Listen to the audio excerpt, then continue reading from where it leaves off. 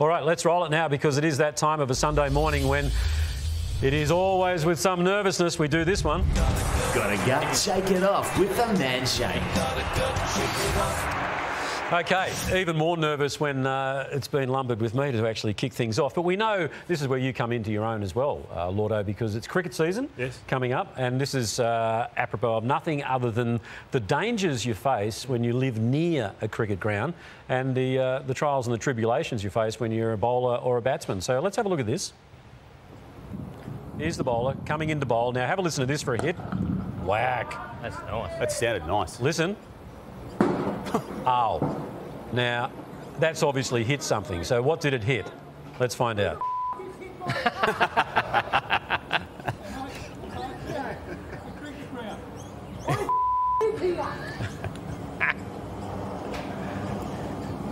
well, now, I'm not entirely sure. It looked a bit like the Junction Oval, but there's no houses nearby. But um, if you live near a cricket ground, surely, surely, I mean, you'd need to expect a, the odd ball or two. Don't Stick with the the cricket. street. stick with the cricket theme here, TJ. 'cause I've got breaking news on uh, a panel member who is selling his services brazenly and, and I think quite questionably to the highest bidder. Now, TJ, it's not you. I know that. Nathan Brown, it's not you, and nor is it you either, Kane Cornes, on your run, which leaves me, you, Matthew Lloyd. And what I've been told, Matthew Lloyd, and you need to look down the camera here and tell our viewers, are you selling your services to the highest bidder to play cricket Oh, no. and to do a sporty night and to sign autographs Oh, and no. to take selfies and to make a lot of money Extraordinary. as a cricketer over summer? I'm not selling myself out, but I, yeah, I'm playing for you. So, TJ, I've heard he's got a number on it. I don't know what the number is. It's in the. Well, okay. four Well, let's let's throw it up as a hypothetical. So Let's go with the- the- 5,000. Well, uh, well, the Upper Conductor West Cricket Club would like to have you down there Yeah. for a guest appearance. What would that be costing? oh, well, I don't speak about that here, TJ, but uh, Well, the pitch I heard was I'll play cricket, I will do a sporty night for you, I will take photos. Be close I'll- to 10. Be close No, to no. 10. That's it. Because he fancies himself too as a cricketer, TJ. Remember the uh, the famous story where he was caught uh, off camera? Stewie Loewe, son. if I ever make a hundred, it's what I want to do, I'll quit. And I got one last year. Stewie Loewe's son was bowling to me, just dropping spinners that short. And I was just getting under him and just went, yeah, got 120. But I've still kept going. There you go. That's what, that's what, that's what you get for that, that's what you get for five thousand dollars. And, and he's not just good with the bat, he's, he's pretty handy with the ball too. Oh, and, and as a racket too. Here we go. Yeah, I, Oh. it's my favourite piece of vision. Um, now, there's a feud going on. It's been going on all year. It is with the Channel 7 sports news reader. It is with our man, Tony Jones, Oh. the captain of the Sunday Footy Show.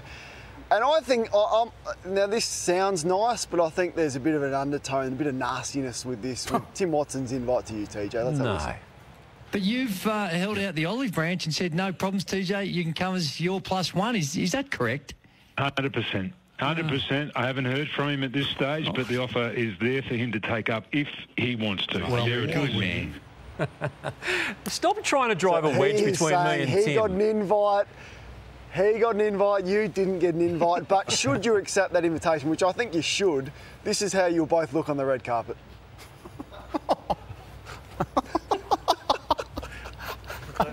And Kane, I can't even see it. Give us a laugh. I can see it, and I still don't see the funny side of it. Um, uh, no, well, see, you can you can read that into it with Tim's, uh, you know, olive branch there, but I, I saw it as a, uh, a- Yeah. as an act of friendship, if you like.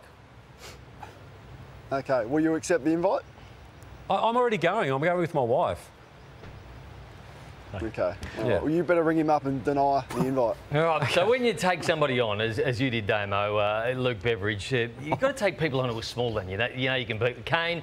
When you took on Barry Hall and you fell over, you've got to take on people that you know you can cover. So this is Cameron Zurhaar in Bali. Now, he's 90 kilos up against 60 kilos. So, of course, Cam Zurhaar's going to win that. And Kane doesn't think they can go on a, a pre-season camp anyway. But uh, when Mark Howard offered up at his 60 kilo frame to arm wrestle me, I knew that I could beat him quite comfortably. So that's where you go. You go with people you know you can beat, Damo. You don't set yourself too big of a challenge. So you've just run that Hang to on, show that people a- you beat Mark Howard in an arm wrestle. Pretty much, yes. What a strange little man. Uh, he is a strange little man. Great lead in, TJ. Great, great lead in. So we get we're fortunate enough here at Channel Nine. We get catering in the morning. We all get bre- breakfast. Uh, normally yogurt and fruit.